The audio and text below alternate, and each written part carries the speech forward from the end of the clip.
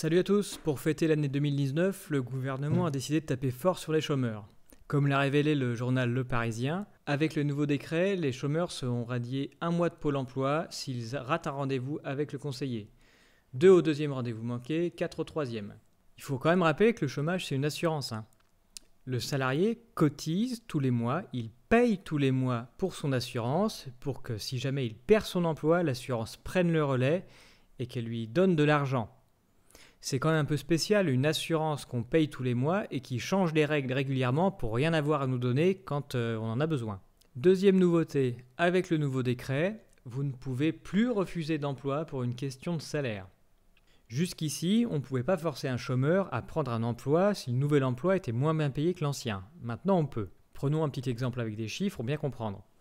Mettons que vous êtes salarié depuis 10 ans, vous gagnez 2000 euros par mois, c'est plus que la majorité des gens, et mettons que vous avez pris un crédit pour euh, payer votre maison ou votre appartement. Vous perdez votre emploi, déjà c'est pas chouette parce que votre euh, assurance euh, chômage, elle vous octroie 1750 euros par mois pendant un an, et après zéro. Avec le nouveau décret, votre conseiller peut vous dire bah tiens là il y a un job à 1300 euros par mois, et ben tu le prends. De toute façon sinon je te vire tes allocs.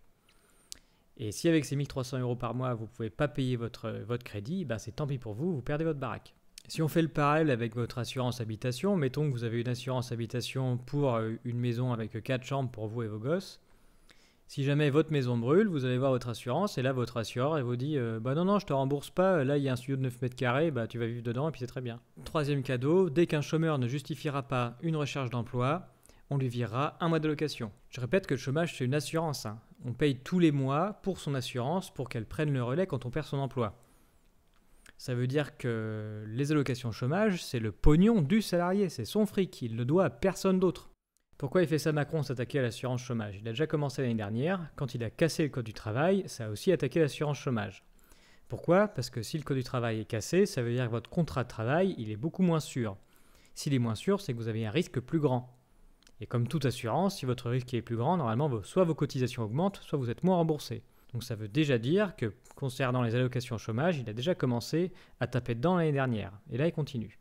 Pour bien comprendre pourquoi, il faut revenir sur sa campagne 2017. Notre pays a besoin d'efficacité. Il a besoin qu'enfin, on arrive à réduire le chômage de masse. On est le seul pays européen qui n'a pas réussi depuis 35 ans. Et donc, sur ce sujet-là, ça suppose des changements en profondeur que je veux mener dès le début du quinquennat. Ce sont ceux que j'ai expliqués durant cette campagne. Ce discours de comparer le taux de chômage français à celui d'Allemagne ou du Royaume-Uni, c'est juste de la manipulation. Dans cette vidéo, je vais vous expliquer comment et pourquoi vous êtes manipulé par les chiffres du chômage. Et ensuite, on verra comment est-ce qu'avec les chiffres actuels, on peut faire évoluer le monde du travail dans le bon sens.